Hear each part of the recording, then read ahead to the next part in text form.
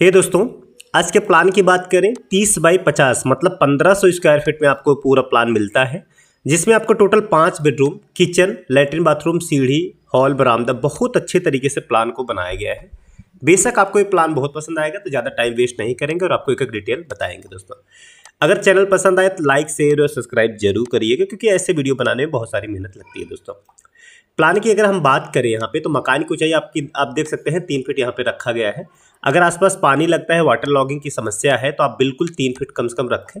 वैसे भी तीन फीट रखना चाहिए, मान लीजिए आसपास वाटर लॉगिंग है या फिर बगल में मकान कोई बना लेता है तो वो हमेशा ऊपर बनाएगा तो आपका मकान नीचे दिखेगा। तो ऐसे नॉर्मली तीन फीट हाइट रखें कम से कम, ठीक है? इसके बाद यहाँ पे हो जाएगी सीढ़ियाँ। हाँ इसका डिटेल समझा देते हैं। कॉलम की बात करें तो देख सकते हैं, पीछे तीन कॉलम हो गए, तीन तीन, छः छः, चार, दस, ये चार कॉलम यहाँ पे है, चार, दस। दस चार चौदह पंद्रह सोलह सोलह कॉलम, सोलह चार बीस नंबर ऑफ़ कॉलम्स इसमें आपके टोटल इस तरीके से हो जाएँगे दोस्तों। बाहर की जो दीवार है दस इंची, अंदर की दीवार आपको पाँच इंची मिलेगी। इसमें आपको पाँच रूम के साथ में डिज़ाइन बनाया गया दोस्तों। तो यहाँ से आप एंट्री करेंगे या रहेगा आपको बरामदा एरी गाँव का प्लान है तो इसमें खिड़की वगैरह आप चारों साइड दे सकते हैं, कोई दिक्कत, कोई प्रॉब्लम आपको नहीं आने वाली। एक गेस्ट रूम दिया दिया गया इसका दरवाज़ा आपका बाहर से रहेगा, ताकि कोई भी गेस्ट वगैरह बाहर से बाहर बैठ सके।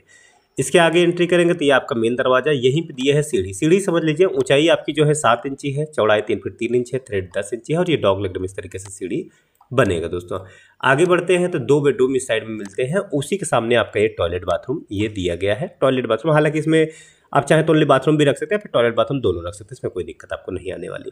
ठीक है, आगे बढ़ते हैं तो यहाँ पर दिया है आपका किचन साइज़ अभी मैं आपको आगे बताऊँगा, और किचन के सामने आपको डाइनिंग स्पेस या आगन एरिया आप बोल सकते हैं इसको, और पीछे की तरफ़ आपको दो बेडरूम इस तरीके से मिल जाते हैं। तो ये पूरा प्लान आपको इस तरीके से ये पूरा मिलता है दोस्तों। तो चलिए अब डायमेंशन की तरफ़ और आपको इसका डायमेंशन वगैरह हम समझाते हैं कि किस साइज़ में हमने क्या चीज़ कैसे रखा हुआ है।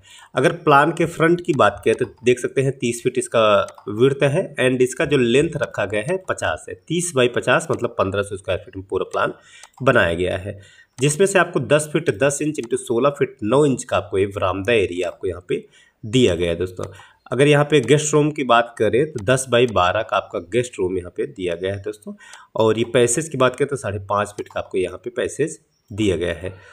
आगे बात करें तो 10 बाई 12 का ये रूम साइड वाला जो भी रूम दिया गया है ये एंड वही सेम साइज़ का आपको यहाँ पे दूसरा रूम भी यहाँ पे दिया गया है दोस्तों, ठीक है?